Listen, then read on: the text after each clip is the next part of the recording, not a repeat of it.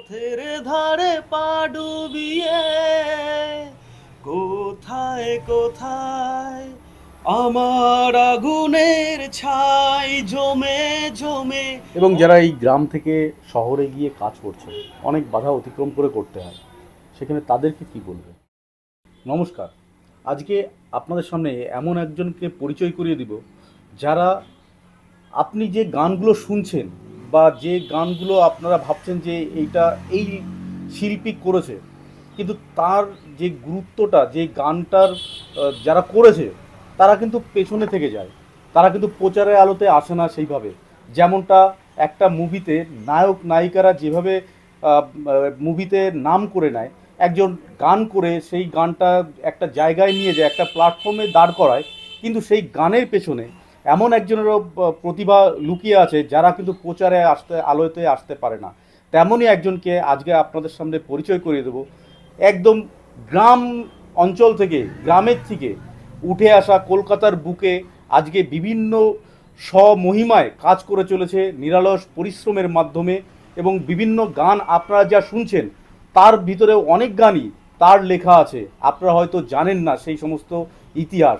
আজকে তেমন একজনকে আমরা সঙ্গে পেয়েছি লিঙ্কন রায়চৌধুরী। তার স্ট্রাগেল গ্রামের থেকে উঠে গিয়ে শহরের ভিতরে এবং সেইখানে দাঁড়িয়ে বিভিন্ন প্রতিষ্ঠিত যে মুভিগুলো আছে, তাতে বাংলা সিনেমায় গান করেছেন। আপনারা হয়তো জানেন না, কিন্তু সেই লেখাটা নিচে অনেক সময় দেখায়, কিন্তু সেই লেখাটাকেও আপনারা কেউ পড়ে দেখেন না হয়তো। সেই রকম একজনের সঙ্গে আজকে আপনাদের পরি- পরিচয় করিয়ে দিচ্ছি।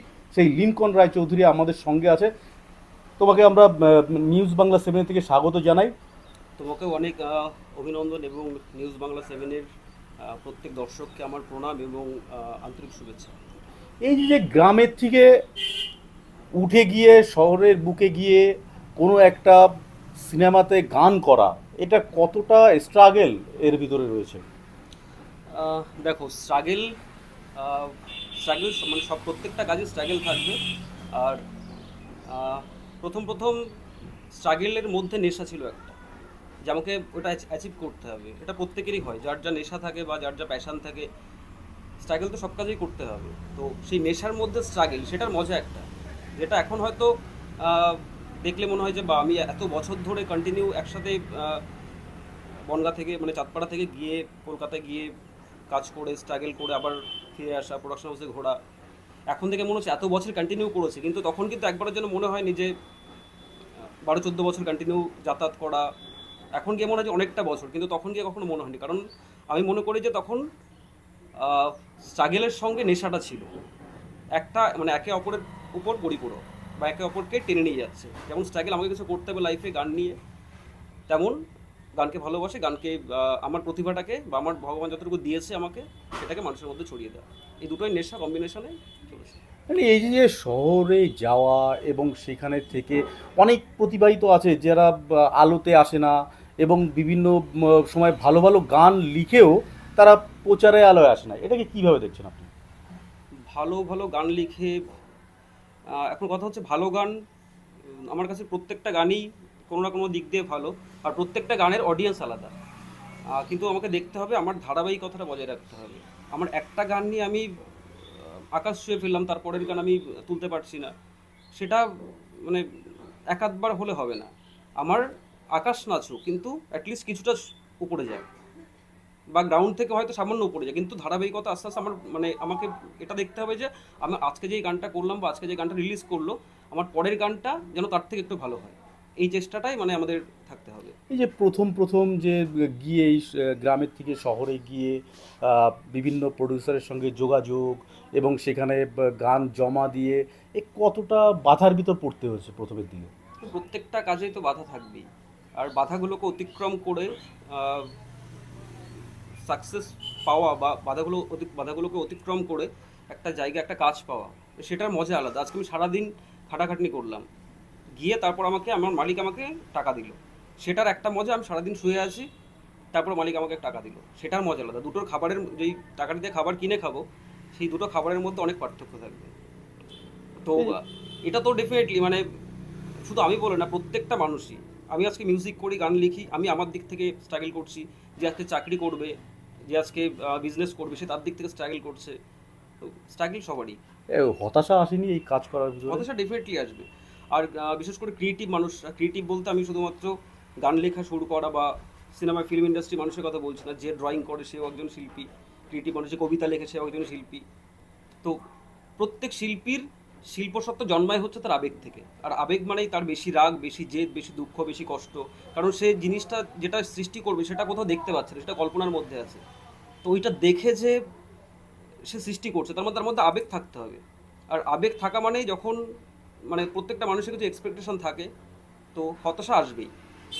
আর আমি মনে করি এগুলো আসা ভালো পার্ট অফ লাইফ কখনো মনে হয়নি যে প্রথমের দিকে যখন কাজ করে সফলতা পাওয়া যাচ্ছিল না, এরকম পরিস্থিতির ভিতরে কখনো কি মনে হয়নি যে এই সমস্ত আর করা যাবে না বা করব না? মনে হয়েছিল কখনো? না, তেমন কখনো মনে হয়নি। কারণ আমি গভর্নর কলেজ থেকে বিএসসি পাস করেছি। জ্ঞানচন্দ্র ঘোষ পলিটেকনিক কলেজ থেকে ইঞ্জিনিয়ারিং পাস করেছি। কিন্তু আমার লক্ষ্য একটাই ছিল, আমি গান নিয়ে কিছু করব। এমন নয় যে আমি ফিল্মে কাজ করব বা সিরিয়ালে কাজ করব বা নিজস্ব অ্যালবাম করব সেটাই কিছু বাট গান নিয়ে আমি গান নিয়েই থাকব। তাতে অল্প হলে হবে বেশি হলে হবে। প্রথম যে মুভিটা জনপ্রিয়তা পেয়েছিল এবং সেখানে গান করা হয়েছিল সেটা কোন গান? আমি প্রথম যে মুভিটা করি দু হাজার আঠেরোতে তার আগে আমি দু হাজার পনেরোতে আমার আমি পলিটেকনিকে পাস আউট হয়ে যাই। তখন চাকরি পেয়েছিলাম আমি। চাকরি পাওয়ার পরে আমি সেই চাকরিটা বাড়ি থেকে বলি যে আমি কি করব? ক্যাম্পাসিংয়ের পরে। তো বলে যে, তুই যেটা ভালো বুঝিস সেটা কর। তো আমার তো প্রথম থেকেই নেশা ছিল গান বাজনা।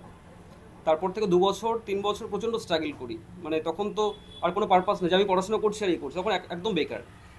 মানে আর বেকার লাইফ কেমন হয় সব বেকাররাই জানে সেটা। তো প্রথম সুযোগ আসে আমার রাজারানী রাজি ছবিতে। রাজীব দা আমাদের ডিরেকশন ছিলেন। আর এসডিএফের ছবি, বনি আর আমাদের ঋত্বিকা ছিল। ওই ছবিতে রাজবর্মন একটা গান করেছিল খোলাখুলি বলতে গেলে। ওই ছবিটা ওই গানটা বেশ ভালো পজিটিভ রেসপন্স পেয়েছিলাম।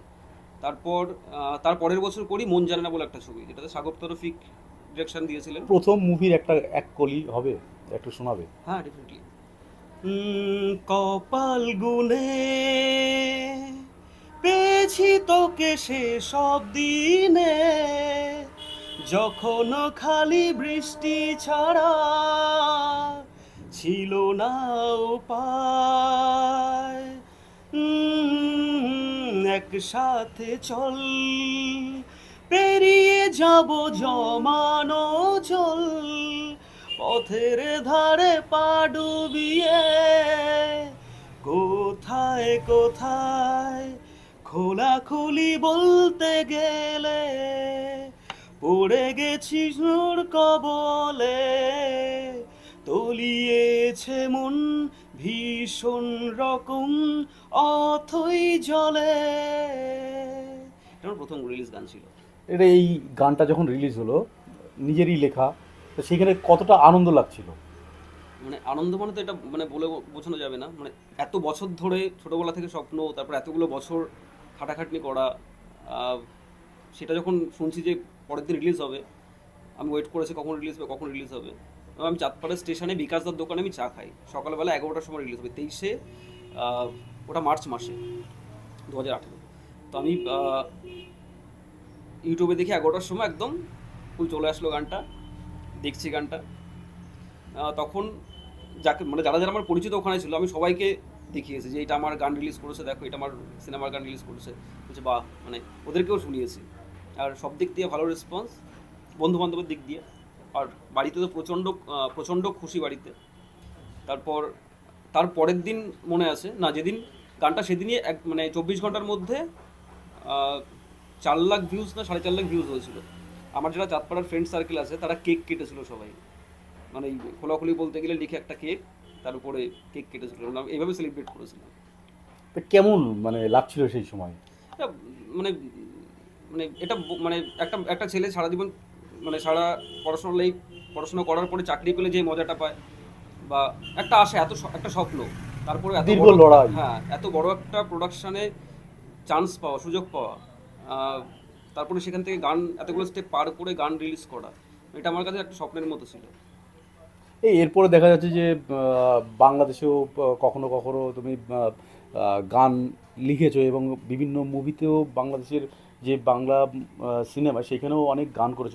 তা এই দেশীয় যে কলাকুশলীরা আছে আর বাংলাদেশের যে কলাকুশলীরা আছে বা প্রডিউসার আছে তাদের সঙ্গে কোনো পার্থক্যটা বোঝা গেছে? কোনো কোনো পার্থক্য আছে এদের না, প্যাটার্ন তো এক একটা দেশে এক এক রকম প্যাটার্ন হয় কিন্তু কোনো সময় কি পার্থক্যটা পাওয়া গেছে? আফটার অল মানে টোটালটাই বাংলা গান। আমার দিক থেকে আমি বলছি বাংলা গান দুটোই বাংলা ভাষার গান তো আমার দিক থেকে কোনো অসুবিধা হয়নি।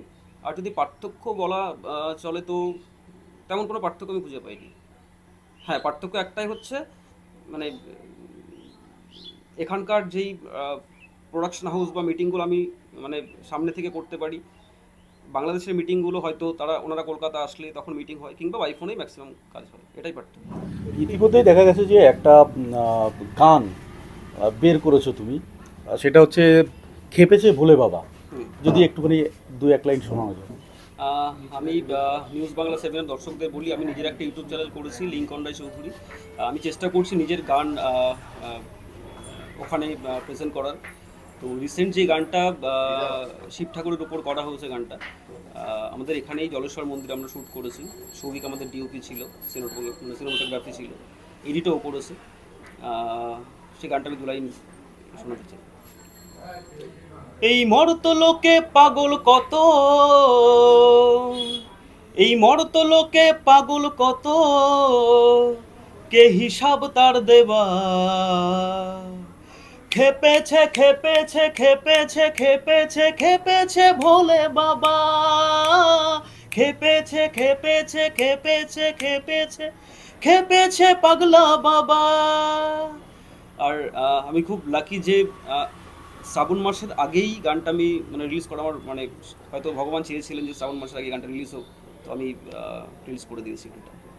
দেখা যাচ্ছে যে এই যে যে গ্রাম অঞ্চল, এই গ্রাম অঞ্চলেও তোমার আগেও কিছু গান পপুলার হয়েছে এবং অনেকেই সেই গানগুলো করেই আজকে ভালো জায়গায় রয়েছে। সেই জায়গা থেকে কেউ নাম না বলা, কখনো কি দুঃখটা কাজ করে যে আমি লিখেছি গানটা আমার খারাপ লাগছে বা এটা বলা উচিত ছিল। কি বলবে? না, দুঃখ কখনো অ্যাকচুয়ালি লাগে না। এটা দুঃখের কিছু নেই কারণ ওটাতে আমারও অবদান আছে তো। যারা অ্যাকচুয়ালি গানটা শুনছে ওই- গানটা শুনে যদি কেউ ভালো বলে, আমার নাম জানার দরকার নেই। অ্যাকচুয়ালি মিউজিক ডিরেক্টর লিরিক্সে সবারই মানে সবসময় নাম প্রকাশ পায় না। সিঙ্গারের নাম বা যারা অ্যাক্টিং করে, তাদের নাম প্রকাশ পায়। তো এটা সবাই মেনে নিয়েছে আমাকেও মানে মেনে নিতে হবে। নাম না বলেও তো একটা খারাপ লাগা থাকে যে আমি একটা গান করলাম অন্তত ন্যূনতম স্বীকার করছে না যে আমার এই গানটা। বলার সময় একবারও বলছে না। খারাপ লাগা কি আছে এর ভিতরে কোনো? না তেমন খারাপ লাগা নেই। তবে যার যার ব্যক্তিগত ব্যাপার এটা। যেমন আমি আমি যেমন প্রত্যেকটা যখন ইন্টারভিউ দিই তখন আমি আমার যে কাজগুলো সেই ডিরেক্টর বা প্রডিউসারের নাম কারা কারা সেখানে কাজ করেছে কাদের অবদান? কারণ ফেস তো সামনে একজনের আসে কিন্তু তার ব্যাকগ্রাউন্ডে প্রত্যেকটা কাজে ব্যাকগ্রাউন্ডে হয়তো যেমন যে গান করছে যে এটা কি কখনো করা উচিত যে যে গান গানটা আজকে রিলিজ হচ্ছে সেই গানের পিছনে কারদের অবদান আছে সেগুলো জানা প্রয়োজন? এবং মানুষ সেগুলোকে জানে না পেছনের সারিতে থাকে তারা। এবার জানা জানলে তো সবারই ভালো লাগবে। কারণ মানুষ দেখা যদি- তুমি একটা গান লিখছো সেই গান দেখা যাচ্ছে যে একটা খুব ভালো একটা জায়গায় রয়েছে। কিন্তু সেই জায়গায় দাঁড়িয়ে দেখা যাচ্ছে যে শুধুমাত্র সেই সিঙ্গারের গানটাই আজকে মানুষ শুনছে। কিন্তু পেছনে কে বাঁশি বাজাচ্ছে, কে তবলা বাজাচ্ছে, কে গান লিখেছে, এইগুলো কিন্তু বর্তমান সময়ে কেউ দেখে না। এই এই ব্যাপারে কি বলবে? এখন কিন্তু আগে যেটা ছিল না, আগে শুধুমাত্র মিউজিক ডিরেক্টর লিরিসিস্ট সিঙ্গারদেরই নাম যেত। কিন্তু এখন কিন্তু সমস্ত মিউজিশিয়ানসদের নাম যায়। তো এক্ষেত্রে এই জিনিসটা খুব ভালো হয়েছে লাস্ট কয়েক বছর ধরে। যে মিউজিশিয়ানসদের নাম যাচ্ছে। মানুষ আস্তে আস্তে চিনছে। আর অ্যাজ এ মানে এক- একজন মিউজিশিয়ানস মানুষের কাছে সমাদৃত হচ্ছে যে, উনি এই ইনস্ট্রুমেন্টটা খুব ভালো বাজান। সাধারণ মানুষের কাছে উনি এই ইনস্ট্রুমেন্টটা খুব ভালো বাজান। এটা কিন্তু আস্তে আস্তে মানুষের কাছে সমাদৃত হচ্ছে। আজকে এই যে যে গ্রাম থেকে তোমার উঠে শহরের বুকে গিয়ে একটা জায়গা করে নেওয়া এবং বিভিন্ন বাংলা সিনেমাতে গান করা অনেক প্রতিবাহিত আছে যারা এই শহরের ভিড়ে গ্রাম থেকে গিয়ে হারিয়ে যায়। এই যে যে লড়াইটা এই যে সংগ্রামটা, অনেকে তো ছেড়ে চলে যায়, কিন্তু সেই জায়গায় দাঁড়িয়ে কখনো কি এরকম প্রতিকূল অবস্থার ভিতর দিয়ে যেতে হয়েছে? যে আমি ছেড়ে দেব, আমি আর এখানে গান করব না। শহরের সঙ্গে তো একটা গ্রামের একটা হিউজ পার্থক্য থাকে এবং লড়াইও থাকে বলা যেতে পারে। সেই জায়গায় দাঁড়িয়ে কখনো কি মনে হয়েছে এরকম? না, ছেড়ে আসার কথা কখনো মনে হয়নি, কারণ মানে আমার কোনো অপশান নেই। না অপশান আমি কোনো মানে কোনো কাজই করব না। শুধুমাত্র আমি মিউজিকটাকেই করব। আর গ্রাম থেকে আমি মনে করি যারা কাজ করছে ম্যাক্সিমাম সব গ্রাম মফস্বল থেকে উঠে আসা মানুষজন। আর সব থেকে বড় কথা হচ্ছে যেটা মেন কথা যার যে যোগ্য সে কাজ করবে। সেটা গ্রাম হোক শহর হোক হ্যাঁ শহরে হয় শহরে বাড়ি হলে হয়তো তার স্টুডিও হয়তো পাশেই। দেখা যাচ্ছে যে শহরে যাদের যারা হচ্ছে গান করছে দেখা যাচ্ছে তাদের ব্যাকগ্রাউন্ড খুব ভালো। এবং গ্রামের দিক থেকে যারা যাচ্ছে, অর্থনৈতিক বলো বা অন্যান্য পারিপার্শ্বিক বলো, এটা তো একটা শহরের সঙ্গে টেক্কা দেওয়া তাদের পক্ষে সম্ভব হয়ে ওঠে না অনেক সময় দেখা যাচ্ছে। সেই জায়গায় তাদের, শহরে যারা থাকে, তাদের সঙ্গে পরিচিতিটা বেশি থাকে।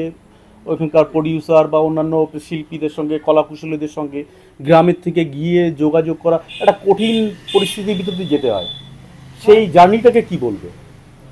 হ্যাঁ এটা এটা এটা মেনে নিতে হবে। দেখো, আমি আমি যেখানে জন্মেছি, সেটা তো আমার হাতে নেই। বা আমার যে কর্মস্থান আমি চুজ করেছি বা ভগবান চুজ করিয়ে দিয়েছে আমাকে, সেটাও আমার হাতে নেই। তো আমাকে, আমার আমার আমার কাছে দুটো জিনিস হাতে আছে। এক হচ্ছে, আমি যেখানে জন্মেছি, সেখান থেকে আমাকে ওই ডেস্টিনেশনে যেতে হবে। আরেকটা হচ্ছে, তার জন্য যেই জিনিসগুলো ফেস করতে হবে, সেটা আমার আমার মানে আমার যদি সত্যি সেই জিনিসটার প্রতি আমার প্যাশান থাকে, বা আমার যদি সেই জেদটা থাকে, তো আমি সেখানে যাব। এবার সেটা আমার আর যার কাজ করার ইচ্ছা থাকবে সে গ্রামে থেকেও কাজ করবে। যার কাজ করার ইচ্ছা থাকবে না সে শহরে থেকেও কাজ করতে পারবে না। আমরা একদম শেষ পর্যায়ে চলে এসেছি এবং সেই শেষ করার আগেই বলব আমরা যে যতগুলো সিনেমায় কাজ করা হয়েছে তাদের যদি একবার করে নাম বলে দাও এবং প্রডিউসারদের নাম বলে দাও। আমি ফার্স্ট বললাম রাজারানী রাজি করেছি যেটা এস এসভিএপি তারপরে মন জানে না করেছি সেটা এসভিএপি আর আমার চ্যানেলগুলো একটা ছবি করেছি। বাংলাদেশের শাকিব খানের সঙ্গে তিন, চারটে মুভি করেছি। ক্যাপ্টেন খান শাহেন শাহ পাসওয়ার্ড পাসওয়ার্ডের গানগুলো খুব ভালো হিট করেছিল বাংলাদেশে আর অনন্য মামুন দাদার কিছু কাজ করেছি। শাপলা মিডিয়ার সঙ্গে বেশ কয়েকটা কাজ হয়েছে আমার। তারপর রিসেন্ট ম্যাকদার সঙ্গে বেশ ভালো ভালো কাজ মানে কিছু কাজ করছি। মিউজিক ভিডিও সিনেমারও কথাবার্তা চলছে প্ল্যানিং চলছে। আরেকজন খুব আমাকে হেল্প করেছে বিপ্লব দা কলকাতাতে। বিপ্লব দাও খুব বিপ্লবদের প্রোডাকশনেও বেশ মানে ভালো কাজ করে। এই সব থেকে মজাদার অবস্থায় কাজ করতে হয় কোন প্রডিউসারকে কাজ করে মানে মজা আছে যে এমন একজনের সঙ্গে কাজ করলাম যার সঙ্গে হাসি আড্ডা থাকবে হ্যাঁ, একটা ব্যাপার। হ্যাঁ। ম্যাকদা রিসেন্ট ম্যাকদার সাথে কাজ করছি ম্যাকদার ব্যাপারটা কি? মানে আমি সব কিছু বলতে পারি। মানে একদম ফ্যামিলি একটা মানে উনি যে একজন ডিরেক্টর বা বাই প্রফেশন তো উনি ডেফিনেটলি ডিরেক্টর কিন্তু আমার কাছে উনি বড় দাদার মতো বা সব কিছু মন করে বলতে পারি। দাদা, এইটা কখনো আমরা হোটেলে বা কখনো আমাদের ফ্ল্যাটে আমরা নিজেরাই বসে গান লিখছি। ম্যাকদা বলছে, এই টাইপের গান লাগবে। উনি একটা দেখা গেলো, সুর বলছে। আমি বলছি, দাদা হ্যাঁ এটা ভালো লাগছে। উনি উনি দেখা গেলো একটা লিরিক্স বলছে, এইটা উনি নন বেঙ্গলি বম্বে মানে বম্বেতে থাকেন। যখন এখানে আসেন, আমরা মাঝে মাঝে বসে যাই। বসে কি আমরা একসাথে আলোচনা করে গান লিখি। অনেক গান এরকম হয়েছে। রিসেন্টলি আমাদের একটা গান রিলিজ করবে, বাংলা গান, আমি এখন নাম বলছি না। সেটা ওইভাবেই লেখা। যে দাদা বলছে যে, এই টাইপের আমার গান দরকার। বলে ঠিক আছে, আজ আজ রাত চলে যাও হোটেল মে। তো গিটার নিয়ে চলে গেছি। গিটার নিয়ে চলে গিয়ে একসাথে বসেই মানে কাজটা সহজ হয়েছে। মানে ফ্যামিলি একটা ব্যাপার কাজ করে যেখানে। আমি গান লিখছি মানে আমার মাথায় সব কিছু বেরোবে তেমন তো না। ডিরেক্টর একটা দৃষ্টিভঙ্গি থাকে। সেখান থেকে দাঁড়িয়ে অনেকের সাথে কমফর্ট জোন কিন্তু ম্যাকদার সঙ্গে রিসেন্টলি ভালো বেশ কমফর্ট ফিল করি যেটা বলা যে নায়িকাদের ভিতরে দেখেছি যে মিমি চক্রবর্তী বিভিন্ন সময় দেখেছি যে তার সমস্ত গানগুলো শেয়ার করা বা একটা দেখে মানে আমরাও গুঞ্জন শুনতে পাই যে একটা ভালো সম্পর্ক একটা দাদা বোনের একটা সম্পর্ক কি বলবে? মিমিদির রিসেন্ট কিছু ইউটিউবের কাজগুলো করেছি মানে করার সৌভাগ্য হয়েছে আমার। আর দিদির কাছ থেকে অনেক কিছুই শেখার আছে। এত প্রফেশনালিজম এত স্মার্টনেস যে আজকে আজকে আমি গান রেকর্ডিং করলাম আজকে রাতে আটটা আটটার সময় গান রেকর্ডিং করলাম ওখান থেকেই ভিডিও প্ল্যানিং হয়ে গেল। কালকেই লোকেশন দেখতে চলে যাওয়া বা ভিডিও বানা এত প্রফেশনালিজম মানে এগুলো প্রচুর শেখার আছে ওনার ওনার থেকে। আর কোন আর্টিস্টের সঙ্গে মানে সব থেকে ভালো সম্পর্ক বর্তমান সময়ে? সবার সাথেই কম বেশি সম্পর্ক আছে। বর্তমান সময়ে হিরো এবং হিরোইন যারা রয়েছে যেমন জিৎ দেব প্রসেনজিৎ কাকে কত দেবে? আমি ওনাদেরকে ওনাদের দেখে আমি এসেছি। ওনাদের গান শুনে সংগীত বাংলায় গান শুনে আমি এসেছি। মানে আমি ওনাদের রেটিং দেওয়ার কেউ না মানে ওনারা সব আমার কাছে একশোতে নাম্বার হলে সবাই মানে একশোর অনেক উপরে। সর্বশেষ আমরা চলে এসেছি। সেই সর্বশেষ জায়গায় দাঁড়িয়ে বলব যে নতুন যে প্রজন্মটা উঠছে, তাদেরকে কি বার্তা দেবে? তাদের কাজকর্ম নিয়ে কি বলবে? প্রথমত আমি মনে করি যে আমি এখনও নতুন মানে আমার বার্তা দেওয়ার মতো তাদেরকে কোনো সেই জায়গাটা বা সেই ইয়েটা আমার নেই। তো তবুও যেহেতু পাঁচ ছ বছর কাজ করে নিয়েছি, তো যতটুকু ন্যূনতম এক্সপিরিয়েন্স হয়েছে, তো একটা জিনিসই বলব যে হাল ছেড়ো না বন্ধু, তোমার কাজ করে যাও। এবং যারা এই গ্রাম থেকে শহরে গিয়ে কাজ করছে অনেক বাধা অতিক্রম করে করতে হয়, সেখানে তাদেরকে কি বলবে বাধা মনে করি যে দাঁড়িয়ে থাকে তার কোনো বাধা আসে না, যে চলে মানে এটা আমার কথা না, এটা অনেকেই, অনেক অনেক সময় অনেক মনীষরাই বলে থাকে মানে বলেছেন যে যে চলে, চলতে গিয়ে বাধা আসে। তো চলতে গিয়ে যদি বাধা আসে, তো সেটা ভালোর জন্যই। আমার লাইফে যদি কোনো সমস্যা না থাকে, ধরো এক সপ্তাহ কোনো সমস্যা নেই, তার মানে কি, আমি ঠিকঠাক আছি তো? মানে কোনো লাইফে কোনো সমস্যা আসছে না, এইটাই। মানে সমস্যাবিহীন কোনো মানুষ নেই। সমস্যাবিহীন কিছুই নেই সমস্যাবিহীন। সমস্যা যত আসবে লাইফে তত তোমাকে ওভারকাম করতে সাহায্য করবে। হ্যাঁ তত তত তুমি পরিপক্ক হবে। এবার তোমাকে দেখতে হবে আমি মানে গাড়ি কাটা ব্লেড হব নাকি নেপোলিয়নের তরল হব? না নেপোলিয়নের তরল হতে গেলে তোমাকে বারবার আঘাত সহ্য করতে হবে। এবার আমরা একটা গান শুনে নেব। আমার খুব প্রিয় একটা গান ওই গানটা দিয়ে তাহলে শেষ করি। আমার আগুনের ছাই জমে জমে কত পাহাড় হয়ে যায়। আমার ফাগুনের দিন গনে গনে আর উধাও হয়ে যায়। ধন্যবাদ লিনকন রায় চৌধুরীকে এতক্ষণ আমাদের ভিতরে ছিলেন। ওনাকে আমরা নিউজ বাংলা সেভেনের পক্ষ থেকে অসংখ্য ধন্যবাদ জানাই এবং ওনার কাজ আরও এগিয়েও যাক এবং সারা বাংলার মানুষের কাছে পৌঁছাক এবং শুধু পশ্চিমবাংলা নয়, বাংলার বাইরেও, ওপার বাংলায়ও যাতে পৌঁছায় সুনাম খ্যাতিটা ছড়িয়ে পড়ে, সেটাই আমরা চাইব নিউজ বাংলা পক্ষ থেকে। সকলকে ধন্যবাদ। সকলেকে আজকের মতো এখানেই আমরা বিদায় নিচ্ছি। নমস্কার।